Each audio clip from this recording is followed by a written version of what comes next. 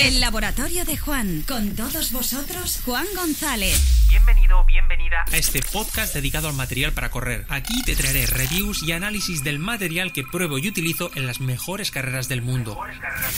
Maratón de sables, Tour de Jans, Diagonal de Fus, Spin Race o UTMB. Si eres un friki del material, este es tu podcast.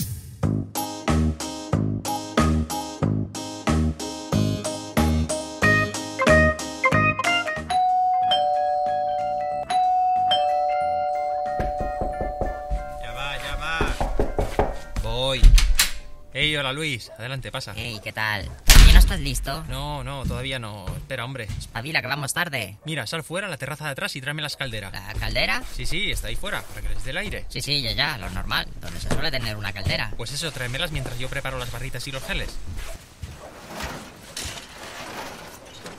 ¿Qué hace este hombre? Luis, ¿qué haces? Estoy con la caldera. ¿Qué demonios? Espera un momento. Vale, aquí tienes. La caldera.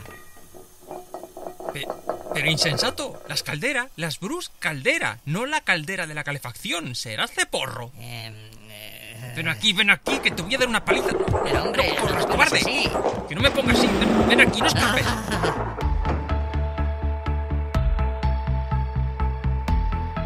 Bienvenido, bienvenida un martes más al laboratorio de Juan, tu podcast de material de trail running. Pero antes de empezar, permíteme que te dé las gracias por la gran aceptación del podcast de la semana pasada, en el que contaba mi experiencia en las 100 millas de la Ultra Tarragona, donde hice mis reflexiones y en el que de alguna manera expresé mis sentimientos después de una carrera de 100 millas. La verdad es que el feedback ha sido muy bueno tanto por escuchas y descargas como por los comentarios en las diversas redes, así que te agradezco mucho esa atención, todos los comentarios y felicitaciones, por lo tanto, de nuevo, muchas, muchas gracias.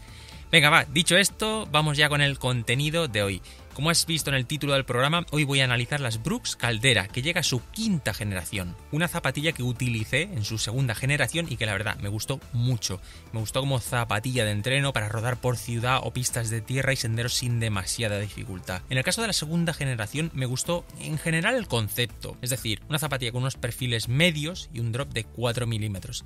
Era una zapatilla que se quedaba justo en los 300 gramos de peso, mi número 44, y que tenía el buen tacto de las Brooks de asfalto con un taco que no permitía demasiados alardes en terrenos complicados, pero que en un concepto, digamos, todo uso, encajaba muy bien. Con la Caldera 4 y más concretamente con esta quinta versión sí que ya hubo o ha habido un cambio total en todos los sentidos. Ahora tenemos un perfil más alto, sí que mantiene el drop 4, pero los perfiles suben hasta los 28-32, es decir, la misma altura de la Hoka Speed Goat 4.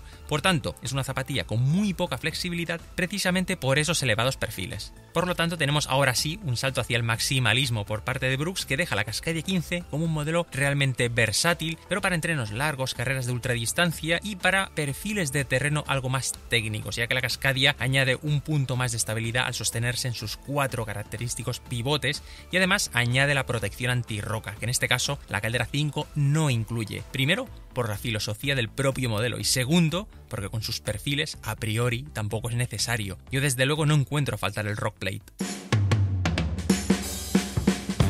Pero ¿a qué tipo de corredor o corredora va dirigida esta zapatilla? ¿A qué tipo de perfil o usuario? Pues yo propondría este modelo para aquel corredor o corredora al que, por ejemplo, también le encajase la Salomon Sense Rate 4, es decir, ese corredor que durante la semana pueda entrenar dentro de la ciudad o en una zona verde dentro de la ciudad. Por ejemplo, se me ocurre el Parque del Retiro en Madrid o el Parque de la Ciudadela en Barcelona. Es decir, el deportista que con un tipo de zapatilla quiere abarcar el mayor rango posible de uso, ya sea, como digo, en terreno urbano, entre semana por cuestión de tiempo, pero que el fin de semana sí que se escapa al monte y su terreno no es demasiado exigente. También la recomendaría para el corredor que busca una horma amplia, posiblemente porque utiliza plantillas y con este modelo no tenga problema para encajarlas en su interior, y también para el usuario que posiblemente busca una experiencia de carrera suave, que busca un modelo amortiguado, bien porque no busca o no obtenga unos ritmos altos o porque prioriza la comodidad por encima de todo. También la recomendaría, como no, para aquel corredor que viene del asfalto y quiere probar en montaña, ya que tendrá unas sensaciones con la zapatilla que no le serán desconocidas si viene del asfalto y más si ya es usuario de Bruce y por ejemplo utiliza Lagos 13 o Glycerin 19. Con este modelo no se va a encontrar una zapatilla rígida en cuanto a protecciones como por ejemplo la Sportiva y va a tener prácticamente el mismo peso que sus hermanas del catálogo de asfalto.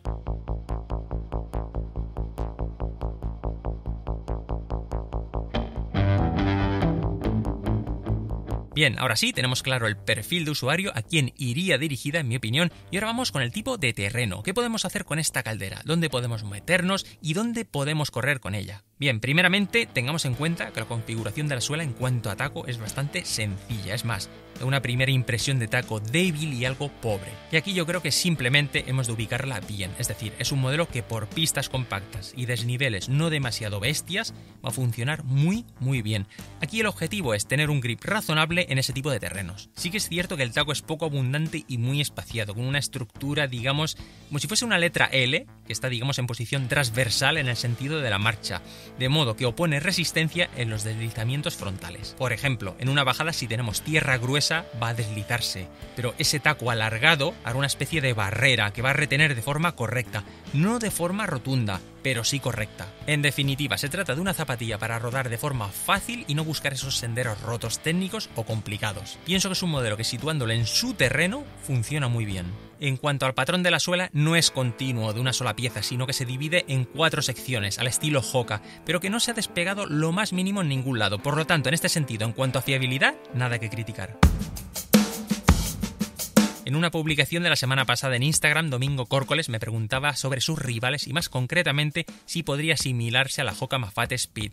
Pues no, yo creo que no, en absoluto, no sería su contrincante. Yo, por ejemplo, por peso, precio y características, la pondría en el grupo de la Nike Pegasus Trail 2, la Salmon Sensor Raid 4 e incluso la Mizuno Daichi 6. Quizás también se le podría asimilar por horma y perfiles a la Merrell Rubato, pero esta última me da más confianza, eso sí, en terrenos técnicos. Aunque sí que es cierto que en peso y precio es calcada la caldera. Recordemos, 310 gramos pie izquierdo, 308 gramos pie derecho y 140 euros de precio venta al público recomendado. Javier Gutiérrez también en esta misma publicación comentaba que cada vez se ven más zapatillas con perfiles altos y mucha amortiguación y que ciertamente parece sencillo tener esa amortiguación con un peso contenido, pero que no es tan fácil hacerlas estables y con buen agarre. A ver, está claro que la tendencia en cuanto a modelos de perfil alto sigue creciendo y seguirá así. Incluso en marcas en las que este tipo de zapatillas no tenía cabida, ya que se consideraba que no estaba dentro de su estilo, como por ejemplo Salomon, que para este año tendremos la Ultra Glide, una zapatilla con perfiles altos muy en línea con lo que estamos viendo hoy. Aquí respondiendo a Javier, yo creo que esta caldera es un modelo que tiene un recorrido de amortiguación muy muy lineal, es decir, es suave y utilizable y agradable en todo su recorrido, sin penalizar en una falta preocupante de estabilidad y por tanto es una zapatilla que no se descontrola. Pero insisto, no son los terrenos complicados sus escenarios preferidos, por lo que en su hábitat la zapatilla funciona muy bien, no te da ningún susto ni amago de torcedura por un exceso de torsión en su chasis. Además, a modo de curiosidad, no es tan ruidosa como la Es bastante más silenciosa. Y siguiendo con su competencia, sí que es cierto que la Salomon Sense Raid 4 no es tan suave, pero ofrece una pisada más protegida y una suela algo más técnica que sí nos permite afrontar terrenos más complicados, pero con un tacto más firme y además estamos 9 milímetros más cerca del suelo en los metatarsos. Aunque el diseño del taco de esta caldera me parece algo más efectivo que el de la Pegasus Trail 2, por ejemplo, que es demasiado, digamos, eh, descafeinado y aunque parezca más pretencioso en cuanto a diseño, por decirlo de algún modo, no destaca frente al taco de la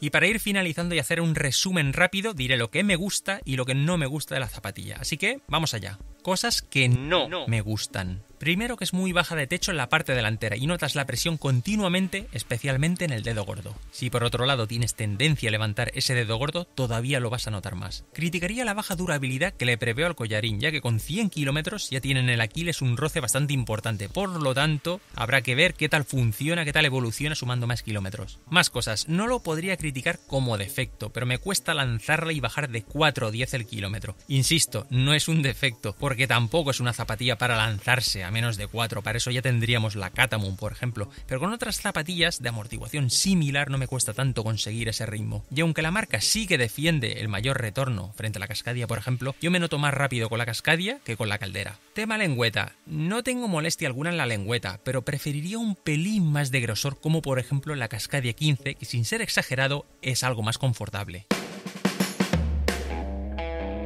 Cosas que me gustan Especialmente el tacto, me gusta mucho lo lineal que es y el recorrido que tiene tan aprovechable en toda su extensión. Eso ya lo he comentado alguna vez que es algo muy personal y en mi caso es porque me gustan las zapatillas blanditas. Y aquí en concreto el compuesto de la mediasuela ofrece también unos surcos en el lateral que ayudan a la compresión. Por tanto, además de la suavidad propia del compuesto, el diseño facilita el trabajo de la mediasuela para potenciar esa sensación de suavidad. La protección en todos los sentidos es más que correcta con unos termoencolados dignos de zapatillas más técnicas no se le ve ningún despegado por ningún sitio. El upper está aguantando muy bien y tampoco se le ve estrés en zonas de flexión en un tejido que me gusta más que la anterior versión que daba impresión de ser algo más frágil. Aquí su aspecto es de mayor resistencia, por lo tanto nada que criticar. Si en el apartado anterior de cosas que no me gustan he comentado que la lengüeta es un pelín fina, a su favor diré que está muy bien construida, no se mueve en absoluto, ya que va unida a los lados y no sobra absolutamente nada de género que cause arrugas. Sí que me parece un pelín corta en caso de utilizar el ojal adicional, pero con la lazada normal la medida es más que correcta. Además añade en la zona media de la cordonera una goma elástica para sujetar el resto de la lazada, un sistema que es sencillo, ahorra el bolsillito de la lengüeta, pero que funciona muy bien a costa de una estética no tan limpia. En conclusión, un modelo para el que le guste rodar a ritmo cómodo, con mucha amortiguación por terrenos poco técnicos, quizás de baja montaña, y con el que incluso pueda rodar por asfalto sin un peso excesivo, prácticamente igualando a sus hermanas de catálogo para asfalto, y que se posiciona en un rango de precio que está siendo muy habitual en zapatillas de gama media alta con 140 euros. Y hasta aquí el programa de hoy. Ya sabes que puedes dejar tus dudas, comentarios o sugerencias en cualquiera de las plataformas de podcast, en mis redes sociales o a través del correo juan Muchas gracias y hasta el próximo martes. Y para ti, querido y querida finisher que has llegado hasta aquí, te dejo con los dos gañanes del inicio del programa. Anda que... ¿Pero cómo te has liado así? Mira, mira cómo lo has dejado todo. Claro, tú venga con la caldera, con la caldera. Anda que, si te llego a pedir las así trabuco... bueno. Y recuerda, este podcast no es dogma, es opinión e información, pero la decisión final es tuya.